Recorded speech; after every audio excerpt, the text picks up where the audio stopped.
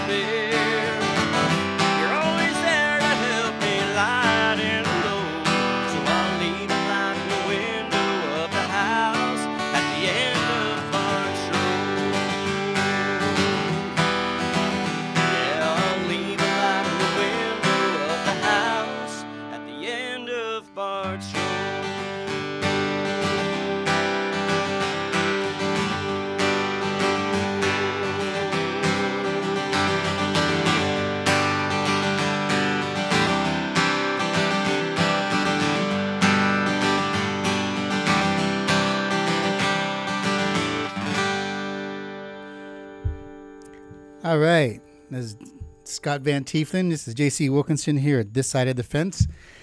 And we are at the pound. And uh, that particular song, I believe, came off Scott's CD, um, North, which was released, I believe, in 2004.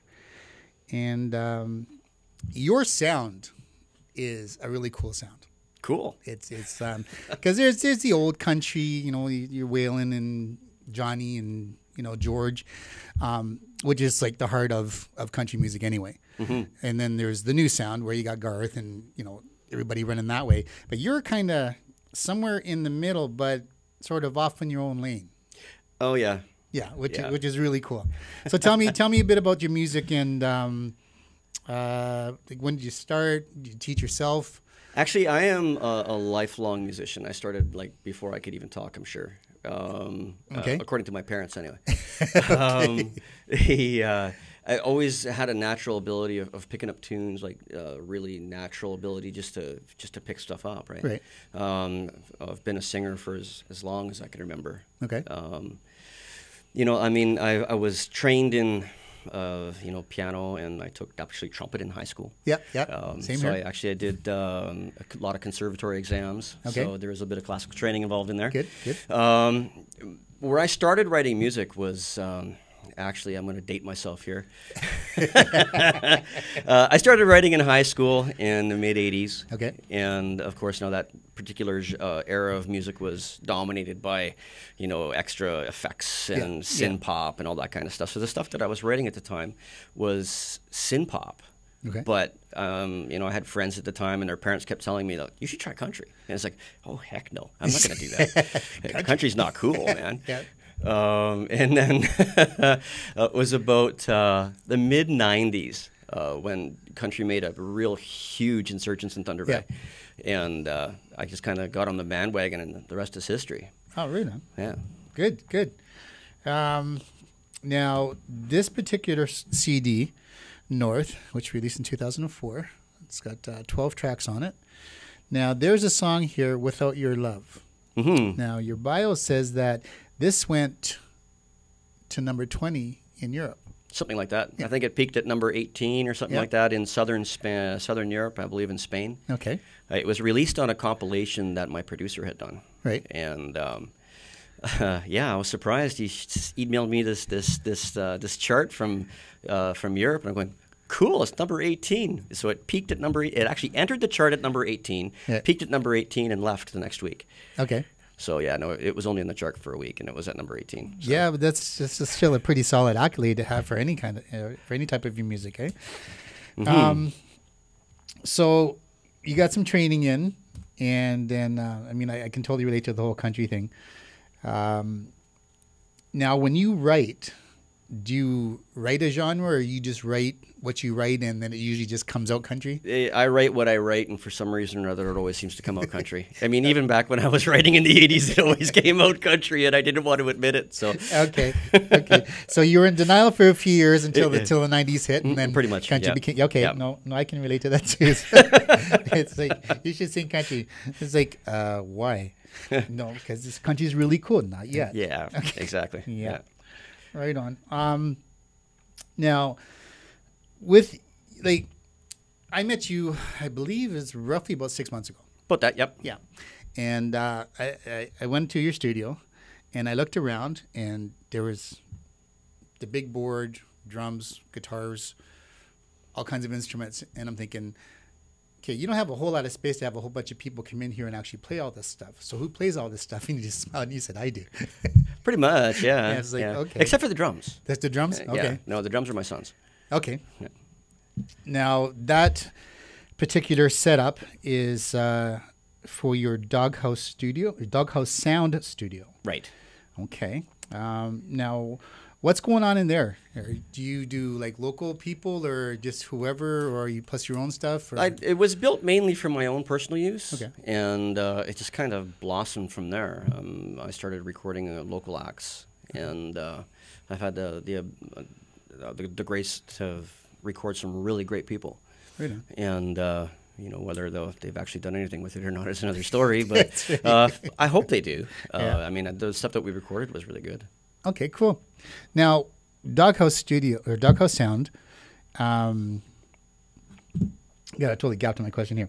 Doghouse Sound, you have been doing different projects um, in the area, hmm and um, we're actually contemplating on coming to visit you as soon as I can get some things organized Oh, yeah, uh, cool. for, for, for myself actually because um, I am in the works of, of doing my CD. But this show isn't about me. We'll, we'll talk about that another time. Um, Sounds like a plan. yeah, really. Now, uh, it's actually really cool that you actually have a studio in town. Now, you've been doing this for a long time, though. hmm This, yeah, because when I first talked to you, it was like you, you started talking eighty something, and I was like, I did, yeah. Uh, been doing and what? Was, yeah, I actually I started recording um, using cassettes. Okay. Uh, little plastic things with the magnetic tape that runs through them. For Yes. uh, younger people that don't know what they I- are. I remember those. um, yeah. So what we used to do back in the day, uh, before we had the advent of modern technology that was affordable to us, Right. we would take two cassette players and you'd record one track, and then you'd bounce it onto another cassette Right. and record something along with it. Right. So it's basically bouncing and multi-tracking. Now the only drawback with that is, is that every time you record onto a cassette, you lose quality. Yeah. Right. So yeah, everything kind of sounded really hissy and tinny, and it sounded like yeah. So the more tracks you make, the worse your sound does. Yeah, so yeah, that started about the same time I actually started writing. So, and it was once again, it was a means of recording what I was writing, and it kind of grew from there. So I moved up, and uh, my parents bought me uh, actually a Fostex four-track cassette player. I still have that in the studio. It's it's it's under glass in a little So- corner. yeah, but yeah. Okay. You part of the museum. yeah. Okay, cool.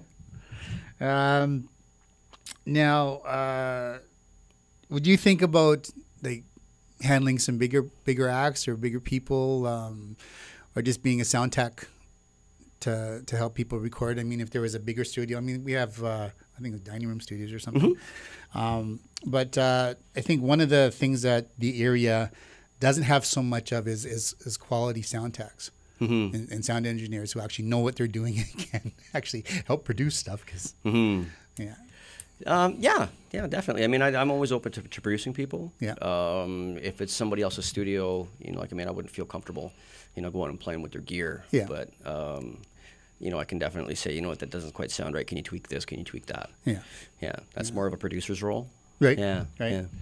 Now, you for composition, I mean, uh, for me, I, I'm a, I'm a, a lyrics. I mean, I'm, I'm a writer at heart. I was a writer before I even started singing. Mm-hmm. Um, so the writing part of it, I, I don't really struggle with. Um, guitar, I taught myself how to play guitar, and I sing. Mm-hmm. Now, beyond that, it's it's Greek or Japanese or whatever you want to call it because I have the sound in my head, but to be able to pull the drum track out or be able to pull the bass line or even throw the lead in there or, or Yeah. keyboard or whatever, it's like I can tell you what I'm hearing, but to actually do it yourself. But you, you can sit down and go, hmm.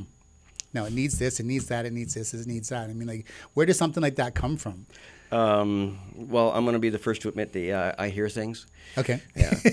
Whether that sounds like a yeah, bad this thing. isn't a clinical it's- thing. it- yeah, yeah. No, I, I, I don't hear voices. I hear music. Yeah. Right. It- Hearing things as a musician is actually fine. Uh, yeah, like, you know, I'll be listening to something and then I'll go, oh, geez, you know what would sound really good in this would be would be like this. Like, I mean, this um, um, this one track that we did, I was like, oh, this would sound so good with uh, like a like a multi-tracked, really crunchy guitar Yeah. rhythm type of thing, right? And this is like, oh yeah, no, I, I can lay that down. Give me five minutes, right? Yeah. Okay. Yeah, because see that that particular skill I think is actually really cool, and, and you have my, my utmost respect for that. Because be able to just sit there, listen to something, and go, okay, this is what it needs, and then be able to produce it. Because I can tell you what it needs, but I can I can go, okay, I don't know how to make that sound, but I can actually tell you what I need, what I think it needs anyway. Um, Yeah. We're gonna get you to run through another song. Now, this particular song is called "Home Is Where the Heart Is," and this is off your new project. Correct. So this uh, this project is uh, very long in the making. Yes, yes. It's the um, shortly after North was released, I put together the band locally to, Right. to help me back it, Right. and we started recording it in my studio that I had out in the country. Okay. That's actually where the name of the, the studio came from. Was I had this other building, and, Okay. and my family called it the doghouse. Okay. So yeah. Ah, So, okay. Yeah. So now you know where Doghouse sound came from. Right. Yeah. So yeah, and I was recording in 16-bit. So we had started recording it, and then I had done a major gear upgrade, and I was started recording 24-bit, and we started lis- listening back, and the sonic quality was like night and day. Okay. So it's like, okay, well, we can't do this. It's just it's going to sound like terrible, right? Yeah. So we scrapped it and started again from scratch. Start again. Yeah. Right. So uh, at that point in time, we were trying to get across the what we wanted to record was what we could produce live. Okay. So with the members that we had in the band at the time, we wanted to be able to, you know, this is this is this is the album. You know, Right, this is what it sounds like. right, okay.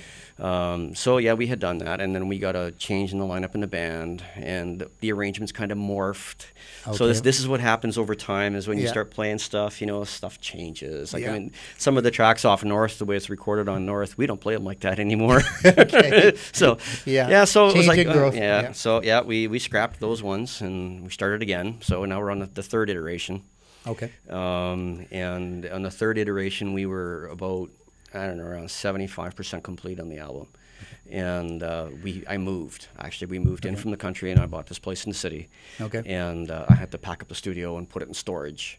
Okay. And I had everything backed up on an external hard drive, and you can see where this is going. Yep. so after four months of you know rebuilding the studio in town, uh, I got everything hooked back up and went and plugged the hard drive, and it went. And it cost me, yeah, Oh, eighty- my eighty dollars later. I got okay. a whole bunch of drum tracks of just you know snare hits Yeah. and you know multiple vocal tracks and yeah. So that was the fourth iteration now that I'm on, and seven years later. Okay, so you just got a brief glimpse of the overnight success. Mm. Just, so, just so you got some idea of what happens before people actually get there and you go, hey, that sounded awesome. I know who you are. Yeah. Okay, we're going to take a short break and we're going to get uh, Scott to sit up there and he's going to play Home is Where the Heart is.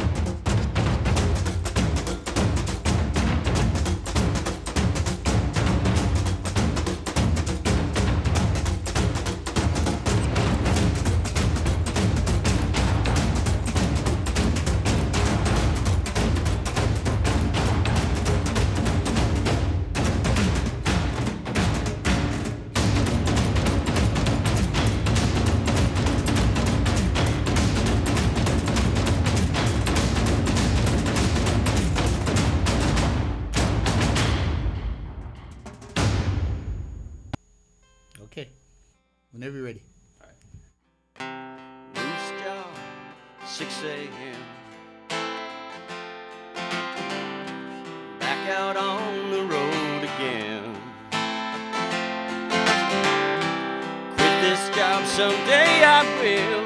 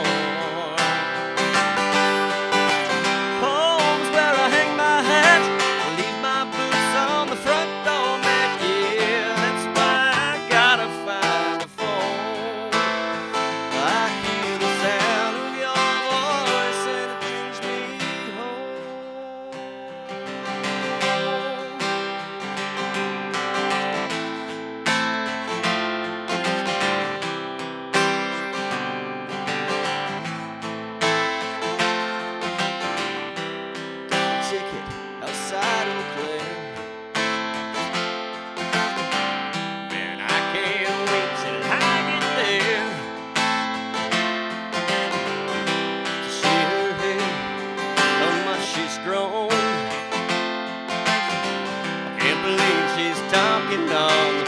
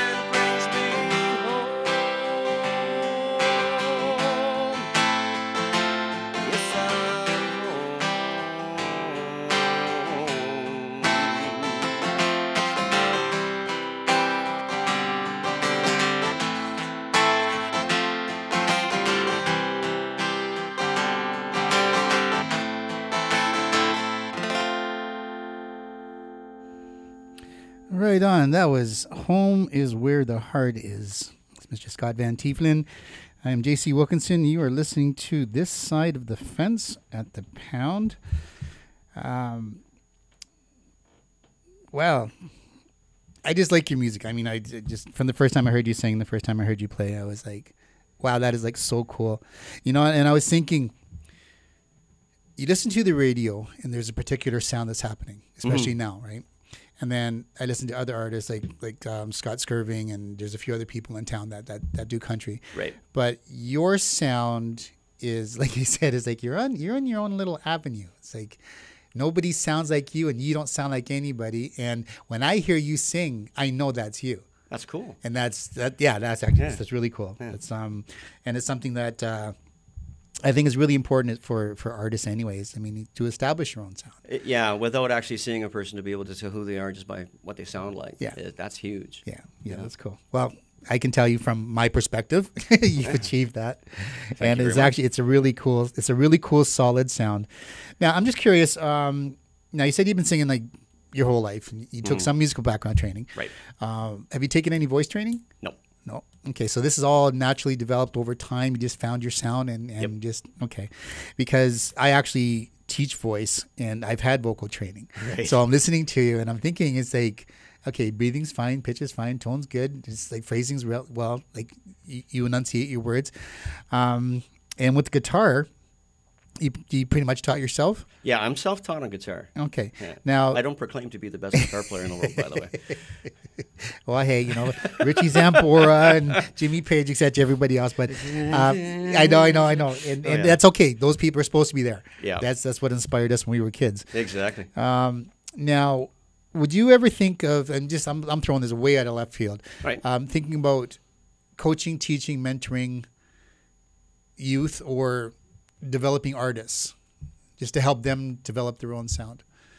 Yeah, I, I think I can probably do that. Yeah, Yeah. because the reason I'm asking is because I mean that's one of the things that I do sort of on the side when I'm not doing this show and not doing my own music. Yeah. Is I work with youth Right. because one of one of the the concepts that I came up with, especially when I came up here from Toronto, Right. and there's so many talented people. It's like why let these kids wait until they're 18, 19 and hit the bar scene before they actually know what they're doing? I mean, Right. like get them get them the foundation now because they're already interested, they're already playing, they're already singing, Mm-hmm. and um, um, and this is my little recruitment message for you too.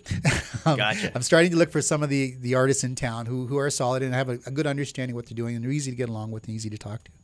And um, I'm gonna gonna put some couple of programs together. But anyway, that's for another show. So we'll get back to you. Uh, Let's see, we got we got about three shows lined up. yeah, pretty Yeah. much. Yeah. Which is okay because definitely, I definitely want you to have you back. This is actually the first time that you've been here on this particular show, and it's it's an honor to have you. I'm really happy that you actually made it because you do have a busy schedule. Now, when we were talking earlier, you were talking like mechanical engineering. That's right. Okay, so yeah, I'm so- actually I'm actually a Confederation College alumni. okay. Yeah, I graduated from the mechanical engineering technician program here uh, in the early 90s. And uh, I've been working in uh, engineering consulting and manufacturing for 20 years or something like that. Wow. Yeah. Okay, that's awesome. Yeah, so yeah, my latest venture was in International Falls. So Okay. yeah, I specialize in, in heavy, uh, heavy industrial piping and hotter and the higher pressure, the happier I am. Okay, there you go. Okay, so he's a musician, he's a singer songwriter, he's a sound tech, and he's a mechanical engineer. Well, you know what? We got a bit of time left, so I'm going to get you to jump up and do one more song for us. Sure.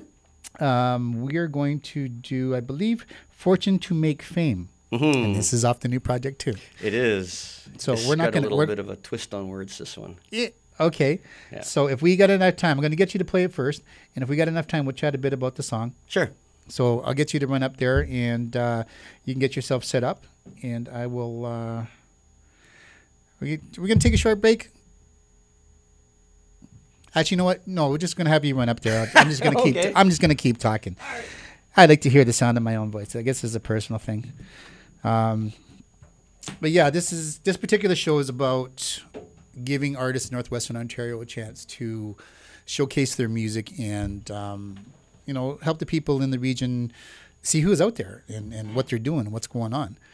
So, uh, uh, like I said today, um, we have a wonderful guest, uh, Mr. Scott Van Teefelen, and uh, he's a very talented artist and guitarist and singer songwriter, and he is going to perform "Fortune to Make Fame." I didn't write it, but it, here it is.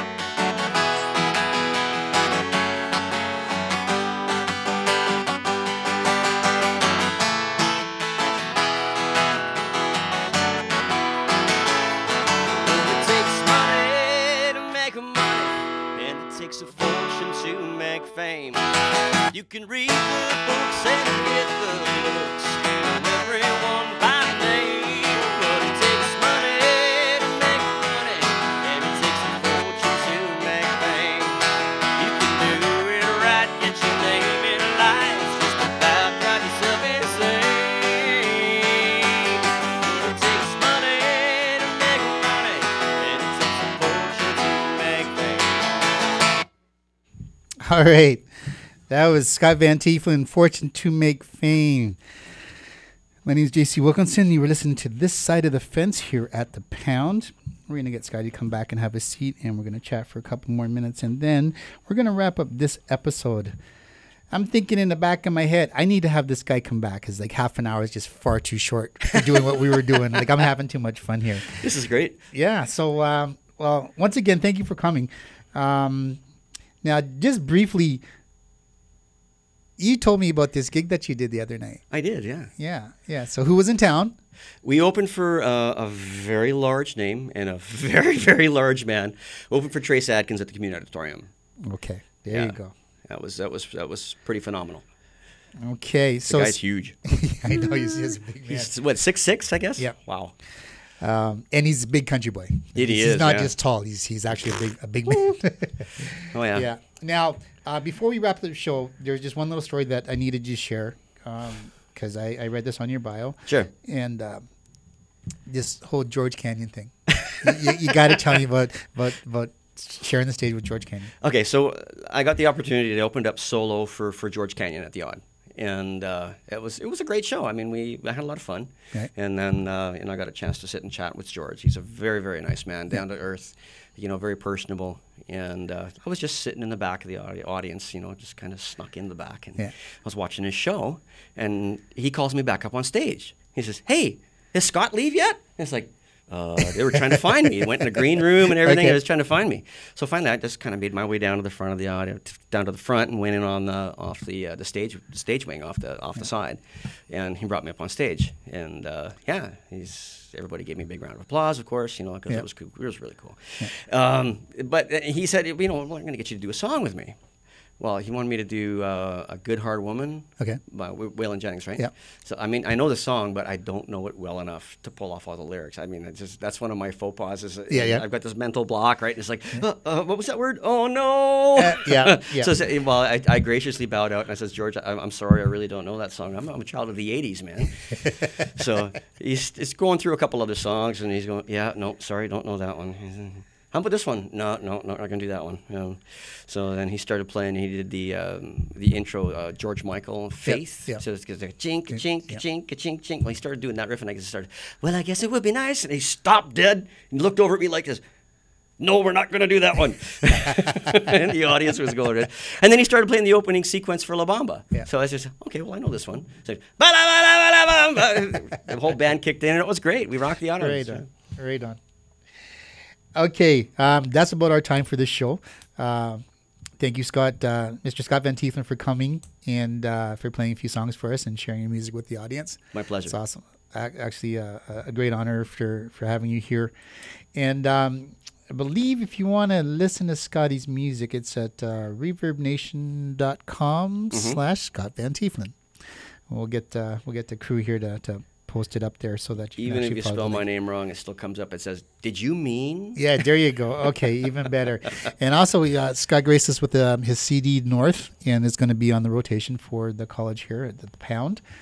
Um, so, my name is JC Wilkinson. You are listening to This Side of the Fence, and uh, we are going to wrap this show up. And thanks for listening. Nice